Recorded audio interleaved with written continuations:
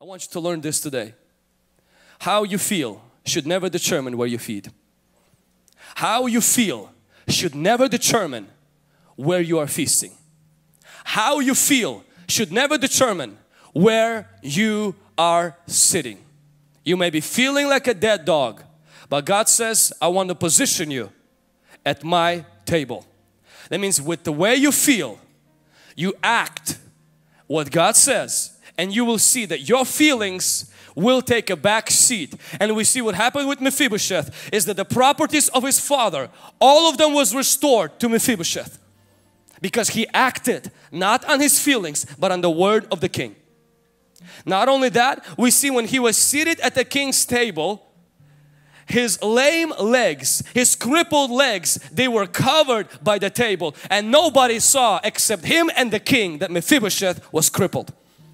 When you begin to stop acting on how you feel, but start acting on what God says about you, you will begin to see that you will no longer be conscious and people will no longer be conscious of your infirmity, of your situation, and your past or your background. They will see you as a different person because you will present yourself as a different person. When our Lord Jesus Christ faced a Lazarus tomb and the Bible says that everybody cried and groaned Jesus Christ, he says, it says he groaned inside. That means the tone of his voice, his emotional, his facial expression changed. And the Bible says the shortest verse in the Bible, Jesus wept. He emotionally got down to the level that he was in. He was crying. He was broken. He was shattered. Emotionally, Jesus was connecting with where people were. But what I love Jesus for is not only that he feels the emotions, is that he's not led by emotions. Because you see in the next verse he says, show me where you buried him. And you would think, oh, he wants to go see by the, by the grave and just cry more. He wants to go and just groan more. But he comes to the grave and he says, remove the stone. Why would you say that? Because Jesus felt one thing, he acted completely on a different level. See, you can feel the level of death. Make sure you act on the level of life. You can feel the level of depression. Make sure you act on the level of God's promise. You can have tears rolling down your eyes, confusion filling down your mind. You can have emotions raging against you. But when all of that is done, you said, I know who I am. I know who is behind me and who lives inside of me. His name is the Holy Spirit.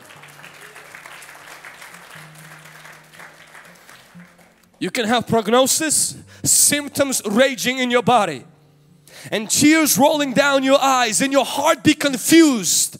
But your heart is submitted to the Word of God and God's Word settles everything. Can somebody say amen? I want to challenge each person this morning. How you feel has very little to do with your future.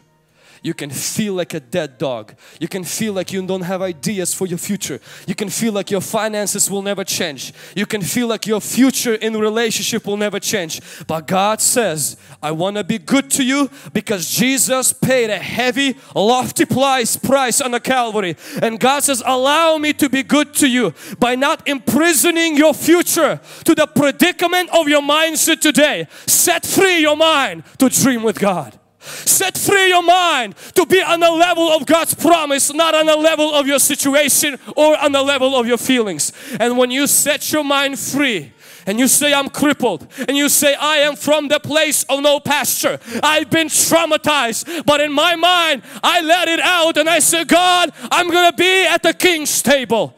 He prepares me a table in the presence of my enemies. In the presence of sickness God says come up, sit down, let's eat. You say, but Lord, the enemy is staring at me. Do you see the dirty looks the enemy is giving to me? And God says, keep eating, keep feeding, keep feeding, keep eating. Why? And drive the devil nuts. And if he can't stand you blessed, give him a chair.